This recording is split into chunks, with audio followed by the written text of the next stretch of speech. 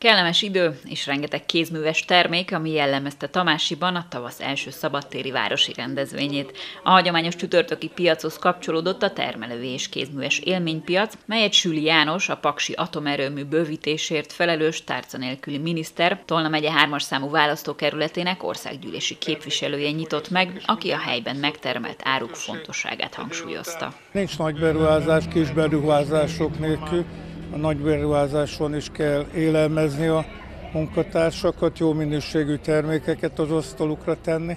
hisz azt szeretnénk, hogy jó minőségbe végezzük a, végezzék a munkájukat, akkor elvárható, hogy ők meg jó minőségű ételeket, italokat tudjunk. És az a lényeg, hogy ezt lehetőleg a helyi piacokról biztosítsuk. Ez szándékunk volt kezdettől, amikortól elkezdtük a beruházást, akkor is mindig hogy körbejárva településeket elmondtuk, hogy mindenféleképpen szeretnénk az élelmiszer rövidutat, az Agrárminisztériummal együtt komoly programunk van, ne fölvigyük Budapestre helyi termelők a terméket, utána ami marad visszajön, és akkor abból fogyosszunk mi,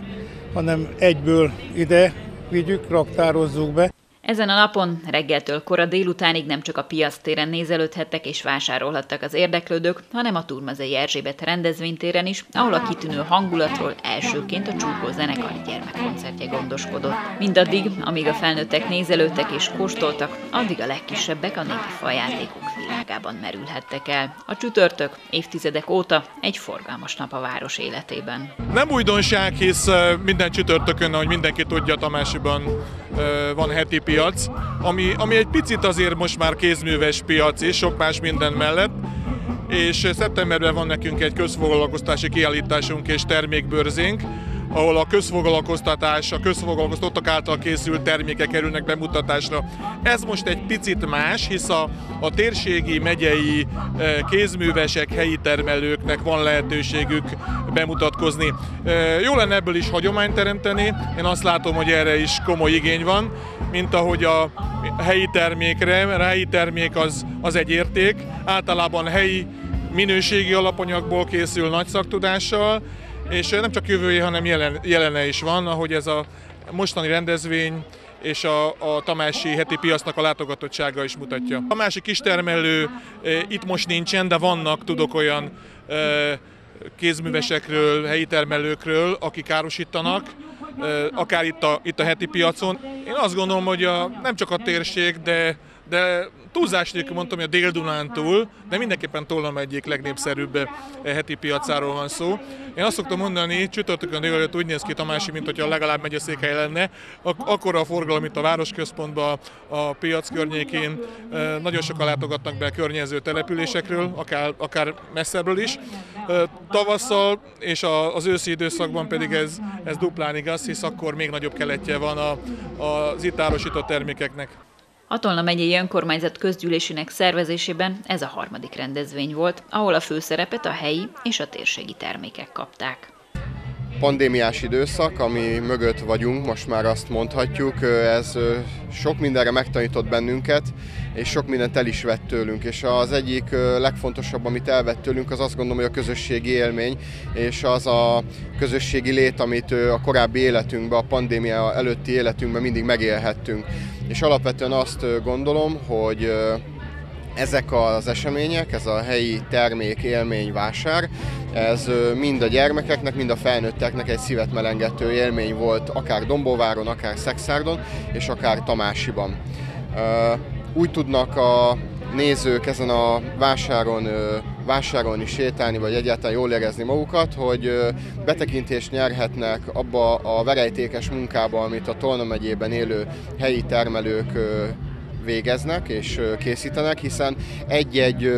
fél literes üveg szörp mögött nem csak egy szörp van, meg nem csak egy,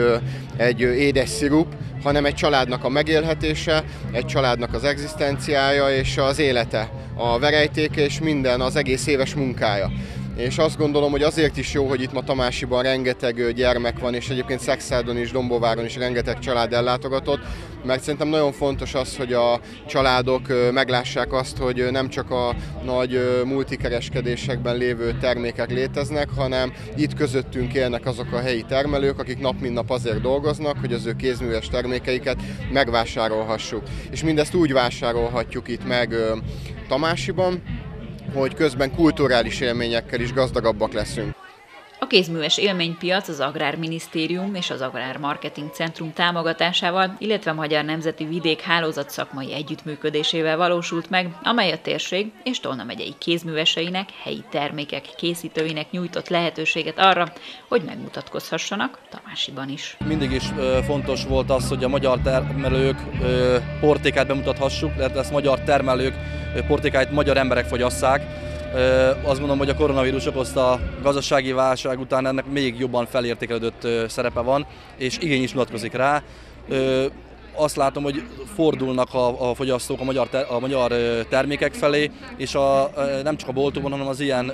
kinti, szabadtéri programokon is ez megmutatkozik. Egyre, több, egyre népszerűbbek ezek a programok, hogy termelői vásárokat, termelői bemutatókat tartunk az ország különböző pontjain, és így most Tolna megyében is három helyszínen, Szexárdon, Dombóváron, Tamásiban, látjátok, rengetegen kijöttek, úgyhogy azt mondom, hogy ez nagyon pozitív program. Az alkotók, helyi termelők a portékáikat a téren felállított faházakból kínálhatták, melyek között voltak népművészeti termékek, puszedlik, sajtok és még sokféle finomság, melyekre sokan voltak kíváncsiak. A kulturális programot Nagy Albert zenekarának műsora zárta a termelői és kézműves élménypiacon Tamásiban.